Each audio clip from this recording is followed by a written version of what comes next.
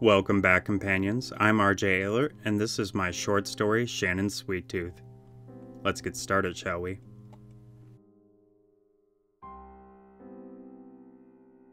Dr. Philip Crawford sat across from Shannon Harper at her candlelit dinner table. That was a splendid meal, Shannon. You are a wonderful cook. While he was fluent with social pleasantries, this compliment was the truth. Shannon's truffled lasagna with goose meat sauce and caramelized tomatoes was unlike anything he had ever eaten before. She smiled with closed lips, head bent forward, face obscured by a bouquet of perfectly curled raven locks. Thank you, Dr. Crawford. He gave her his most winning smile in return. Please, call me Philip. This is a real date after all. She looked up at him and spoke in a manner that kept her teeth covered. You just didn't want me to be alone on Valentine's Day. It's really sweet of you. I appreciate it. Philip let his expression slide into a grin, as if he was getting away with mischief. Shannon, you have it backwards. You are an absolutely lovely woman, and you do me the favor of company this night. Please, give us a real smile. Shannon cautiously let her lips retract and displayed rows of perfectly white, perfectly straight teeth. Philip admired his work, thinking that now she really was perfect. You shouldn't be afraid to show that smile. It really is fetching. Her cheeks seemed to redden, I just. I never thought I'd have dentures this soon. I mean, I'm not even 30. Philip took on a more professional tone. How was the adhesive I prescribed? Any slippage during dinner? Any irritation? Shannon shook her head. Philip nodded, pleased at his work, and accepted a refill of a sweet white wine. He drank from it while looking at Shannon. So beautiful, now, in every way. His eyelids drooped, and he let out an unexpected yawn. Now she had the mischievous smile. Don't tell me I'm boring you. The night's just started. Philip felt a warm stirring along his body, seeming to relax into the chair. No, no. I guess the wine is getting to me. Shannon smirked. So, you've been my dentist for over three years, Philip. Why did you wait this long to ask me out? Philip's eyes lingered on her mouth, mesmerized at what a difference man made teeth could make. He blinked, realizing he had left her question hanging in the air. He brought back his practice charm. Would you believe I'm shy? I saw right away how wonderful you were, but I never thought you would consider dating your doctor, even if the only part I worked on is your mouth. After the surgery, you just looked so forlorn, and I needed to see that wonderful smile. This time, she gave him a beaming grin with no reservation. Oh, yes, it had all been worth it. Philip rubbed his eyes and sagged a bit against the table. When he opened them, he saw a plate of homemade chocolates. You're a dessert chef, too? That's just incredible.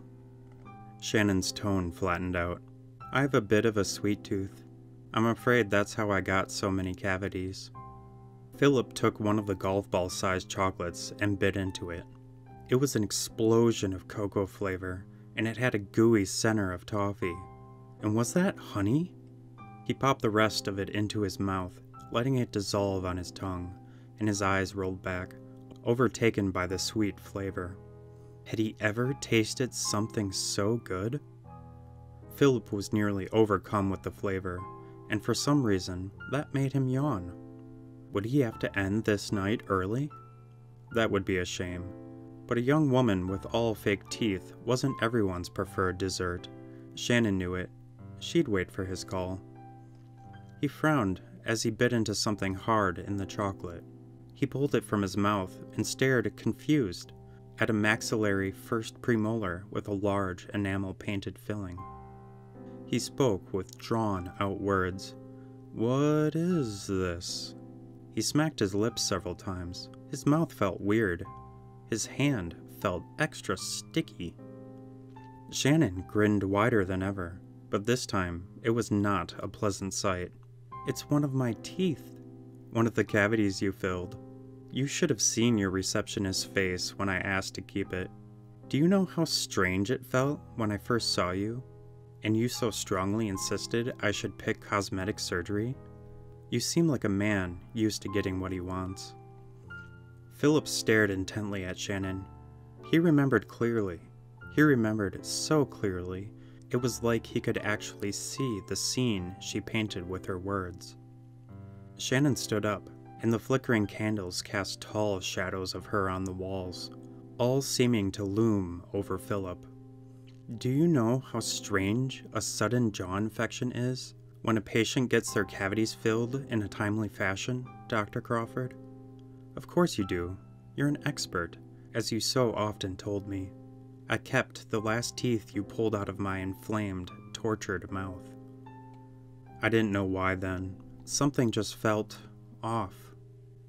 Philip felt like he was in trouble, and he would have gotten out of his chair, but his feet felt rooted into the floor. Shannon clapped her hands, bringing his eyes back to her face.